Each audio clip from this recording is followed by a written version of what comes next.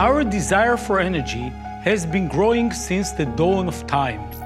The first growth spurt was during the Industrial Revolution, and over the past century, it has skyrocketed.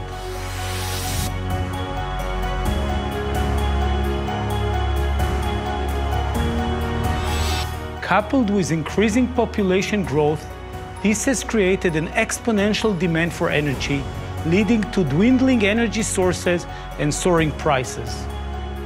These price hikes has caused the generation of energy from fossil fuels to begin to plateau. So how are we meeting energy demand? Renewable energy, especially solar, is growing fast and making up more of the energy mix. So the real question is, can the grid be fully supplied by renewables? Let's see what it would take. In one hour, more energy from the sun hits the surface of the Earth than what the world consumes in one year. To produce the amount of energy mankind consumes in one year, all you would need is to cover a landmass measuring 100 by 200 miles in the Mojave Desert with solar panels. Given that solar power generation is intermittent, we would also need enough storage capability to support a 24-hour demand. Take the European Union as an example. In a given year, 500 million people consume 3,000 terawatt hours. That means that the average daily demand is 8.2 terawatt hours.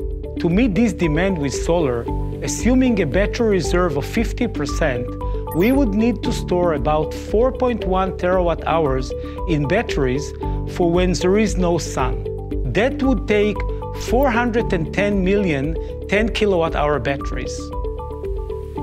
With 220 million households in the EU, this could be achieved if every household would have two 10 kilowatt hour batteries powered by PV. But is this even achievable? There was a time when the world market for computers was estimated at a total of five. Now there is about that many in each household. And with a continuous reduction in battery cost, we believe that in the foreseeable future, every house will have PV and battery storage. And that creates a new model for energy generation. The centralized model of power production, in which a utility company generates all the power, is already becoming outdated and inefficient. The new model of energy generation will be interconnected and less centralized. This means improved reliability, services, stability, and costs. It is a model that creates a new shared energy economy and provides benefits to all stakeholders. Utilities can leverage distributed PV systems to more efficiently meet demand. Energy retailers get protection from price peaks, and PV and battery system owners get a new revenue stream. Yet, it introduces new challenges, managing a complex dynamic supply demand and transmission network. So, SolarEdge is launching a new solution for grid services and virtual power plants to provide real-time aggregated control of PV, storage, and home energy systems. Let's look at the example of an area that has energy supply shortage.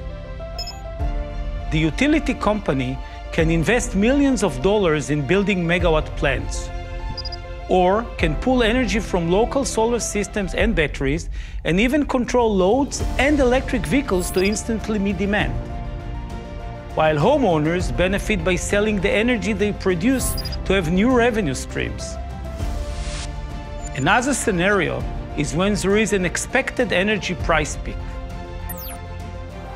Retailers can then set batteries in homes to automatically discharge loads to reduce consumption based on price signals. In a third case, the grid needs help to stabilize its frequency. Batteries can instantly and automatically charge or discharge energy into the grid. As technology continues to evolve, we are approaching the day when the grid will be 100% renewable and people will have more power over their own energy. With SolarEdge's grid services, that day is even closer.